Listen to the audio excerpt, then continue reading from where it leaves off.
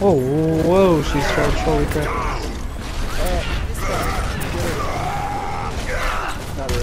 She's almost dead, honestly. Oh my god, where are you going? Ah, I got solo fucking ult on.